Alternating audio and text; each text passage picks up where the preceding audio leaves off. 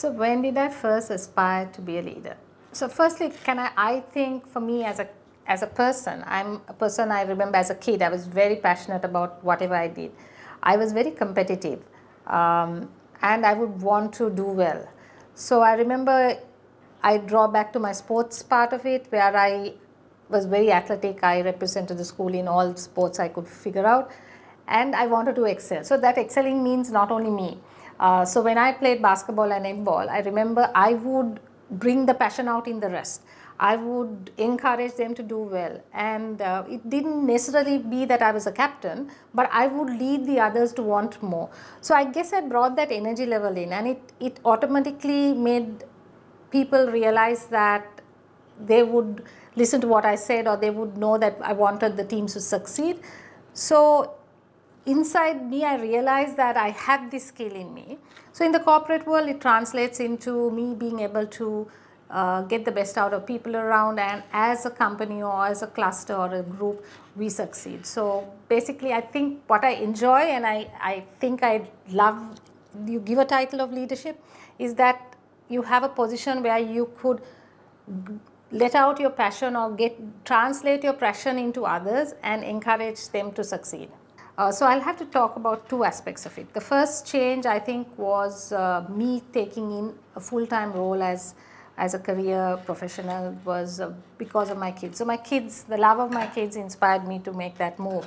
But having made that move, there's one person who has influenced me throughout and inspired me to make the change and including the next change is uh, our current chairman uh, Husein Esufally, who, who, who was the CEO when I actually joined the company. And he saw something in me, in me which I didn't see. Uh, I was a finance director, right? And, and as CIMA was lending itself to that. But uh, he did see that I could go beyond finance. I went into technology. I, uh, I went into process. I even, then he pushed me and he said, you pushed me into taking over role as a MD and that was in, in a space industry I didn't, I was not familiar with. And, uh, and that was my first uh, business role. Uh, and beyond that, he has been encouraging me to take on bigger roles. So I think the single uh, person is him. He actually sees, saw things which I didn't see in myself and uh, helped me to believe that I could achieve it. So great leaders, I think uh, leaders, different leaders are needed for different situations. Having said that, some few commonalities amongst that is that I think leaders don't don't light their candle and let others see it and uh, follow, but get the rest of the team to ignite themselves and light their candles and make the shape and the path based on the team's candles. So it's like getting the best out of the people around you. Uh, a great leader would put respect people, put relationships before speed. Uh, having said that, that doesn't mean they don't make decisions. They do make decisions, but the speed of which they do it, they would also be mindful of the relationships and respect people. Um, the other one is I think that uh, they should be able to listen, get feedback, and uh, make uh, relevant decisions, but be having the ability to open up and listen and get feedback and adjust. Firstly, that uh, at a community level, at family level, we should encourage women to come out and achieve the best potential. So that self-belief, given, given, giving them the ecosystem to actually see what their, what their talents are and want more than what traditionally you expect them to have. Uh, having said that, I'm not saying that you should give up what a woman would love in terms of being a mom and a wife and all that, but they also have talents, you know, and they could use those to be an entrepreneur or in the corporate world. And in corporates and communities, um, I think firstly our skills are different and that should be acknowledged. Um, and have a system which allows us to be our authentic selves. So when we are trying to shape others and encourage others to bring the best out of the workforce, uh, out of themselves, um, women have that ability. But we need to believe and the corporate should allow the women to succeed to that level to make sure that they actually can show their skills. Um, I think the biggest thing is that uh, in a corporate or community, we need to accept that the women have to lead the way they can lead and allow a system and the uh, environment and the culture to accept that. So our cultures historically in corporates have been very uh, driven by men and you can't blame it. It has been a male driven workforce. Now we've seen a, quite a bit of women coming into the workforce. So with that, we, there should be a culture change and that should allow the women to be their, themselves.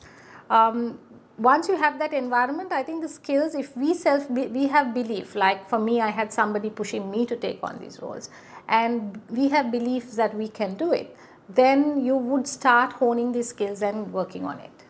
So the biggest challenge, I, I actually have two challenges and uh, the first challenge I think I systematically overcame is uh, the battle of being my authentic self and uh, being able being accepted for it. So coming from the person i am um, i need to get i kind of a person who wants things done. And uh, so you go through a phase of being aggressive uh, assertive. How do you find that balance? And how do you go through push through that and then define yourself as your true self and get the people to accept? So that was kind of a um, a challenge I faced within the environment. Other than that, uh, on work-wise, I didn't feel um, too much.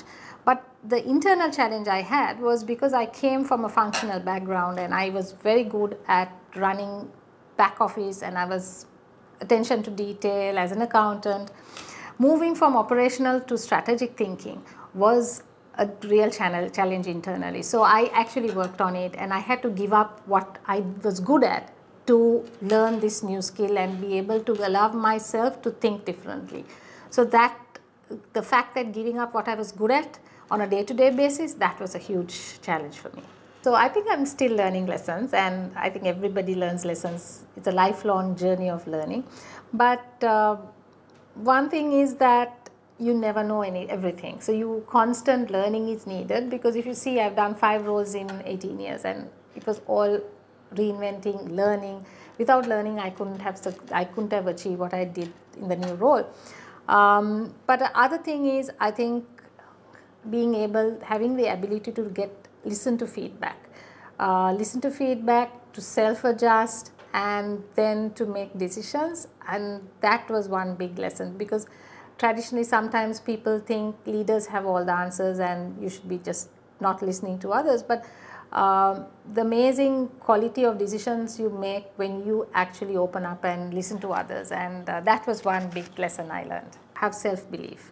Um, it may be that you may not have it. I had instances that I had doubts and my boss, I was lucky to have my seniors who actually had belief, belief in me.